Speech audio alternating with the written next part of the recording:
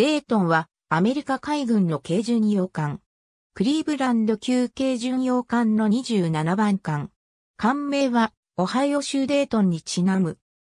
デートンは1943年3月8日にニュージャージー州カムデンのニューヨーク造船所で寄港し、1944年3月19日に H. ルージャープ人によって浸水、1945年1月7日に P.W. スタインハーゲン艦長の指揮下収益する。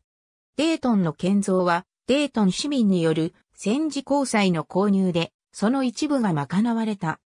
デートンは訓練のため真珠湾に5月15日到着し、6月16日にレーテ島のサンペドロ湾で第3艦隊に合流する。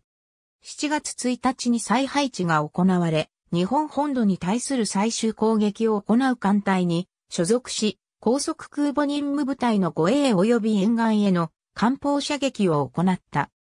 終戦後9月10日に東京湾入りし、エニウェ特艦礁での短期間の維持作業を挟んで、日本本土の占領任務に11月7日まで10時、その後帰国の都につき11月19日にカリフォルニア州サンペドロに到着する。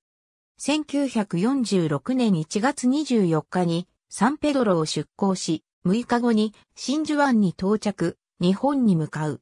その後命令は変更され、2月7日に大西洋艦隊へ合流するため出港し、グアンタナモ湾で訓練の後、母校のバージニア州のオフォークへ向かう。1947年2月3日にデートンはノーフォークを出港し地中海へ向かう。マルタ沖で訓練を行い、トルコのイスタンブールへ外交訪問した後再び地中海に向かい、地中海艦隊の機関となる。11月30日にボストンに帰還し、ニューポートを拠点として活動する。1948年2月9日から6月26日まで地中海へ巡航し、1949年3月1日にボストンで予備役となる。デートンは1961年9月1日に除籍され、1962年4月6日に売却された。デートンは第二次世界大戦の先行で1個の従軍聖賞を受賞した。ありがとうございます。